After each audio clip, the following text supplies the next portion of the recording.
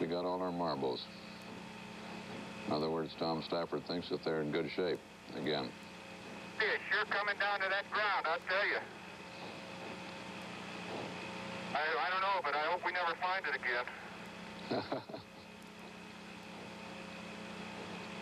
they must be talking of the ascent stage, which they have now lost.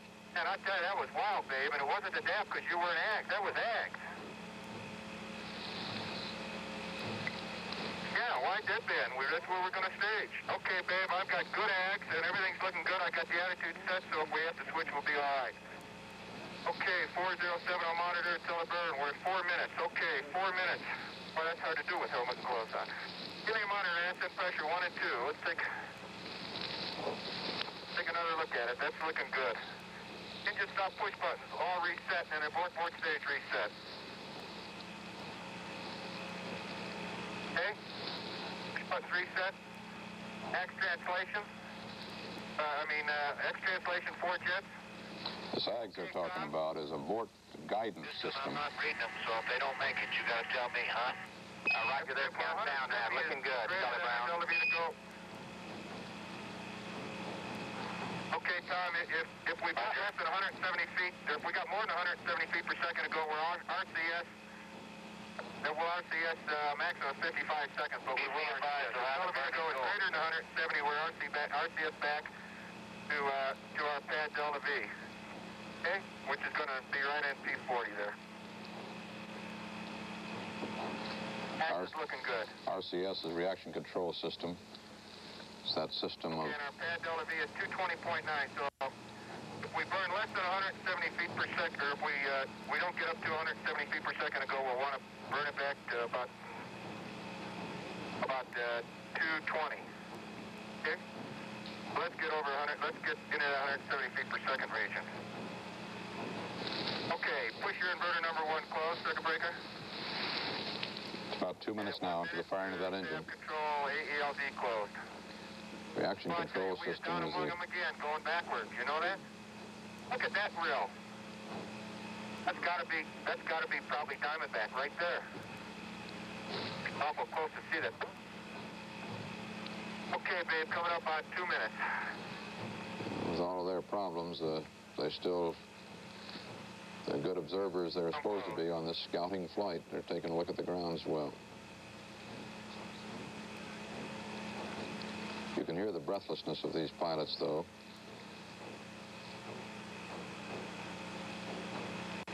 They're wearing their full spacesuits for these critical maneuvers.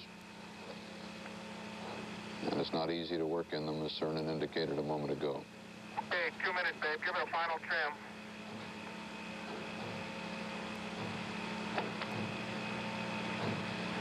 Okay, there it is. Okay, my AELD's coming close, Tom. Okay, and verify your inverter number one breaker's closed. Okay, at 35 seconds, we want the engine arm to arm. And ping, we're in auto.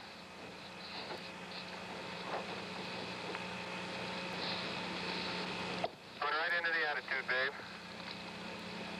That engine arm yet to go. Coming up on 112. I'll hit 99 and I'll cut you down. Burn time is 15 seconds, so it's going to go in a hurry.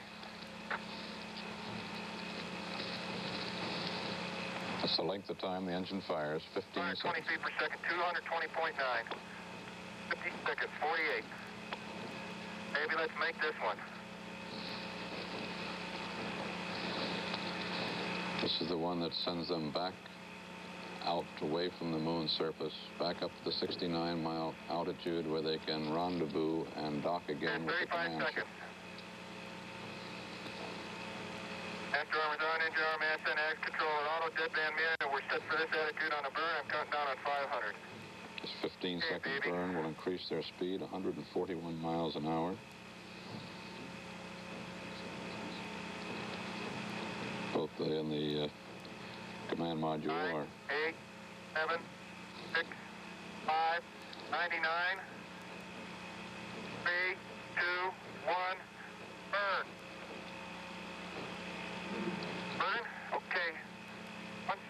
go. This is a simulation. You're burning. to go. You're burning. 100 to go. 78 to go. 50 to go. 20 to go. Stand by, Tom. Okay, I'll null them out. Oh, beautiful, beautiful. You're on Houston. He got the burn off. We're in good shape. Oh, boy. Outstanding. Oh, okay. Congratulations to Astini. Minus 0.3, plus 0.1.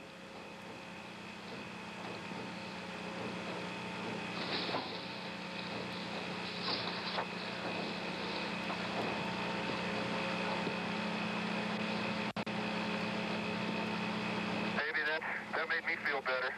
Call up Verb 82 when you get a chance. There's the ag says we made a good burn. Snoopy Houston, we copy the residual, so that's great. So we got it. Oh, Roger, the barn looks real good. I tell you, we're down here where we can touch the top of some hills, though. Just in under cases like this, it sounds like to me you can relay uh, through him, because every time you talk to me, I hear him talking in the background. Houston. Uh, this is shows us in a 46.7 by 11.0. Over. Roger, we copy. 46.7 by 11.0. Okay, Tom, engine arm off. The ELD breaker open. Okay, mine's open. Master arm off. And inverter number two, or number one breaker open. Okay, and the RCS, just for record, so it's 80 and 78. Oh, I tell you, I thought we were wobbling all over the sky. I'm surprised those residuals ended up where they did. Okay, uh, yaw 180 and pitch down 90. That must have been some rocky ride they had there for a while.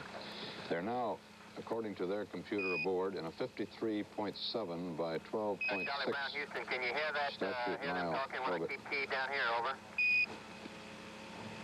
which is just about where they're supposed to be. I thought all of a sudden that was, uh, that was great. Okay, when they start talking, I'll key down here and relay through you, over, till you get them again. That's Houston speaking to Charlie Brown, be kind John. Young. Right. Those communications presumably were being relayed to him, and he must have had some bad moments up there, wondering if he was going to have to go through those maneuvers for which he's been training for two years to go down and try to pick them up uh, from their 13-mile high altitude. But now they are on the way back up to his altitude.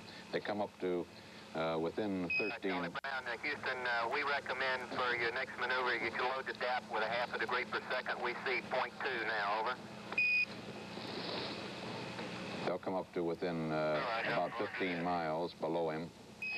Below the command module and then begin the series of maneuvers uh, to actually rendezvous and dock with him. Their next uh, firing of the engines is at 9.32 Eastern Daylight Time. Uh, that's uh, an hour and 44 minutes from now. Then there's some more maneuvers and finally rendezvous at 10.54 and docking at 11.19. We'll come back in just a moment uh, to go out to Grumman Engineering Aircraft and find out uh, uh, just what might have happened out there in those very tense moments as they were just 13 miles above the lunar surface. CBS News color coverage of the flight of Apollo 10 will continue in a moment.